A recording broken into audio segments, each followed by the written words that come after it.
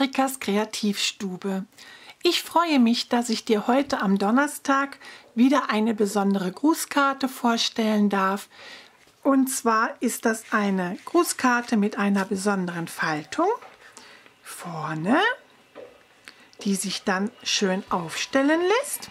Diese Karte habe ich dieses Mal als Klappkarte hergestellt und auch eine hübsche Manschette dazu gemacht auf dem ein Gruß steht aus dem Stempelset für alle Zeit. Da habe ich dieses Blattwerk und von den Framelits dieses Blatt ausgestanzt. Diese Stanzformen, die zu dem Stempelset für alle Zeit gehört, heißt ewige Zweige. Also das ist ein Stempelset. Ich glaube, das werde ich noch ewig benutzen, weil Blätter, glaube ich, kann man immer verwenden. Heute möchte ich gerne mit euch diese Karte nachbasteln. Dafür habe ich das Stempelset Tropische Träume verwendet. Dazu gibt es auch wunderschöne passende Stanzformen. Dieses Stempelset mit den Stanzformen tropisch könnt ihr auf der Seite 36 im Jahreshauptkatalog noch vorfinden. Dieses Mal werde ich allerdings keine Klappkarte machen, sondern ganz einfach nur eine Karte, eine Grundkarte in dem Maß 10,5 mal 14,85. Wenn ihr eine solche Klappkarte herstellen möchtet, dann habt auch ihr die Maße in der Anleitung, die ihr auf meinem Blog wiederfindet. Diese Grundkarte lege ich zur Seite und eine Manschette benötigen wir noch in dem Maß 24 mal 4,5. In diesem Fall habe ich eine Mattung verwendet in dem Maß 4 mal 9,5. Hier habe ich ein Etikett in dem Maße 4 mal 9,5 vorbereitet. Und zwar mit all den Aufklebern, den man in dem Kartensortiment Erinnerungen und mehr vorfinden könnt. Leider ist dieses nicht mehr im Katalog. Heute habe ich für diese Karte mein eigenes Designpapier kreiert. Das habe ich in der Maskiertechnik gestempelt. Wer diese Technik noch nicht kennt, bitte melde dich, dann weiß ich, dass Bedarf vorhanden ist und dann mache ich auch dazu ein Video.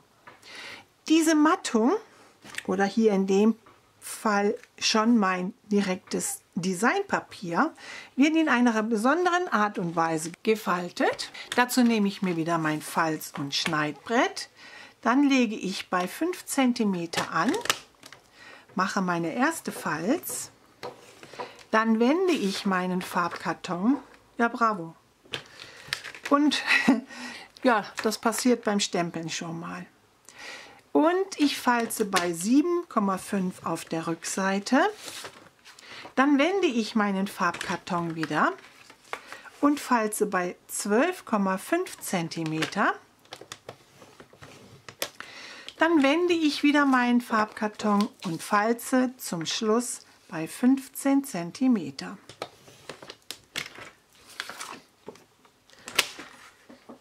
Dann gehe ich hin und so wie ich gefaltet habe, klappe ich auch meine Falzlinie nach und falze mit meinem Falzbein nach. Die nächste habe ich ja auch wieder anders gefaltet, gefalzt und da falze ich ebenfalls die Falzlinie entsprechend nach.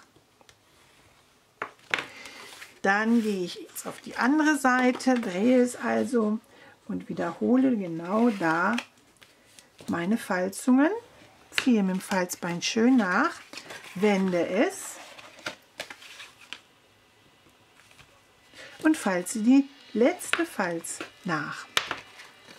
Dadurch haben wir so einen Ziehharmonika-Effekt. Wenn ihr da Designpapier verwenden wollt, dann schaut vielleicht nach, dass ihr im Rapport bleibt und dann schneidet ihr viereinhalb, zwei, viereinhalb, zwei und viereinhalb von einem Stück Designpapier. Ich habe das natürlich umgangen, indem dass ich mein eigenes Designpapier gestempelt habe. Ich hoffe, das gefällt euch. auf die Grundkarte aufkleben, aber nur diese 5 cm. Die anderen Teile werden nicht aufgeklebt. Ich hole meinen Tombow, klebe diese Seite auf, weil hier am Rand auch leider verschmiert ist. Seht es mir nach. Sowas passiert auch mir. Jetzt versuche ich das natürlich zu umschiffen. So, und dann klebe ich mir dieses Teil, nur diese 5 cm, mit einer schönen Umrandung rundherum auf meinen Farbkarton auf. Drücke mit meinem Falzbein fein an und dann sieht unsere Faltkarte so aus, die sich dann schön aufstellen lässt. Ansonsten finde ich das noch eine sehr interessante Angelegenheit, denn diese Faltung ergibt dann, wenn man das auch so stehen lässt, auch so eine Dreidimensionalität. Jetzt zeige ich euch noch die Rückseite, auf der ich einen Farbkarton aufkleben möchte in dem Maß 10 x 14,8. Da möchte ich aber sehr gerne diese Palme aufstempeln und die möchte ich zweifarbig haben. Dazu habe ich meinen Stemperatus vorbereitet. Ihr könnt also sehen, da habe ich das schon gemacht. Und was ich dazu verwende, das sind die Stamping Up Marker.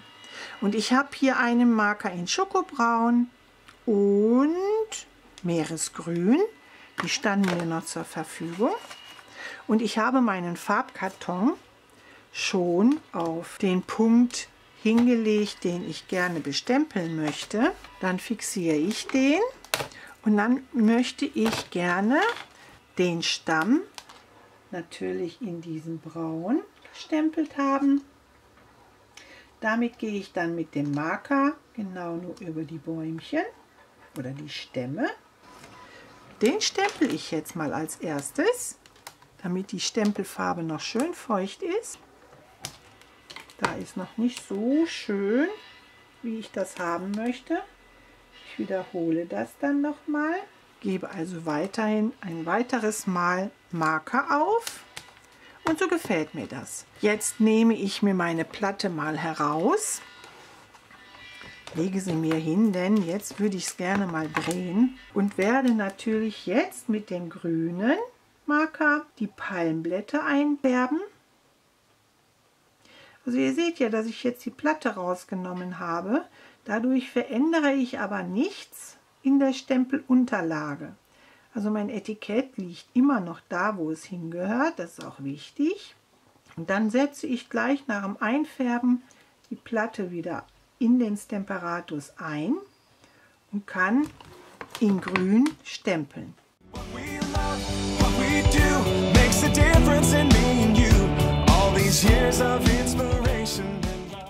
So, jetzt setze ich ihn wieder ein, meinen Deckel und Stempel. Aha, wunderschön, aber da gibt es schon noch Stellen, die ich gerne noch ein wenig heftiger haben möchte.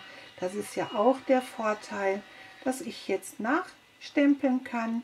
Genau da, wo ich sage, nö, ist noch ein bisschen dünne. Was ja auch den Vorteil des Stemperators ausmacht. Und für solche Sachen, sage ich euch ganz ehrlich, für mich ein absolut wichtiges Tool geworden, explizit bei diesem Gummistempel. Denn einen zweiten Abdruck, den findet ihr nie auf dem Punkt wieder. Sieht die nicht klasse aus, die Palme? Ich finde die total schön gestempelt.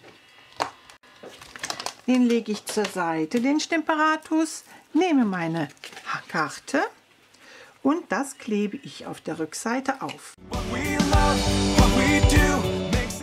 So haben wir alles erledigt und damit diese Karte nicht so aufspringt, also denkt dran, ihr könnt hier noch Sprüche aufkleben. Das werde ich später noch zukleben, damit diese ha, Verschmutzung verschwindet. So, und die Manschette, da müsst ihr schon darauf achten, dass ihr die auch schön gerade falzt. Dazu lege ich mal hier auf meine Unterlage meine Manschette anständig auf einen bestimmten Platz und darauf lege ich dann meine Karte in der Waage.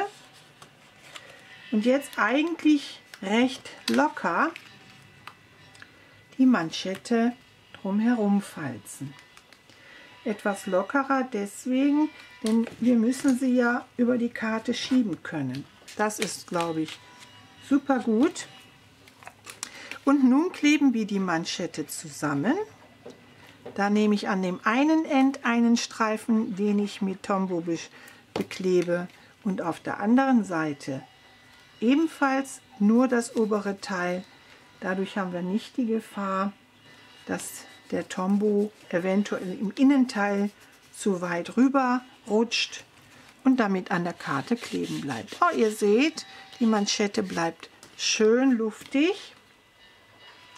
Jetzt gehe ich natürlich hin und gebe die Klebeseite auf die Rückseite. Wirklich schön beweglich. Und das Etikett habe ich vorbereitet in dem Farbkarton Safrangelb. Diese Aufkleber gibt es in allen Kartensortimenten, Erinnerungen und mehr, je nachdem welches Sortiment angeboten wird. Ich habe in diesem Fall auf dieses Etikett zurückgegriffen, habe links und rechts solche Blüten aufgeklebt und weil jetzt meine Kundin diese Karte geschenkt bekommt, habe ich den Schriftzug Thanks verwendet und innen drin oder auf der Rückseite werde ich noch dieses Wörtchen Enjoy aufkleben. Und dieses Thanks, da habe ich wie gesagt die Mattung 4 4 cm mal 9,5, die Ecken noch abgerundet und das klebe ich jetzt noch auf die Manschette auf. So ist jetzt aufgeklebt und fertig ist eine besondere Grußkarte. Ich hoffe, dass euch dieses Mal ebenfalls meine Grußkarte gefällt. Ich möchte bitte erwähnen, dass ich demnächst in Urlaub fahre und dann werden meine besonderen Grußkarten ein wenig einfacher ausfallen, dass ich mehrere in der Zeit schaffe, so dass ich euch auch weiterhin jeden Donnerstag eine neue Grußkarte anbieten kann. Wenn euch dieses Video gefallen hat, ihr müsst meinen Kanal abonnieren und damit ihr in Zukunft auch kein weiteres Video von mir verpasst, musst du auch auf die Glocke drücken. Wie immer, kreative Grüße aus Pulheim.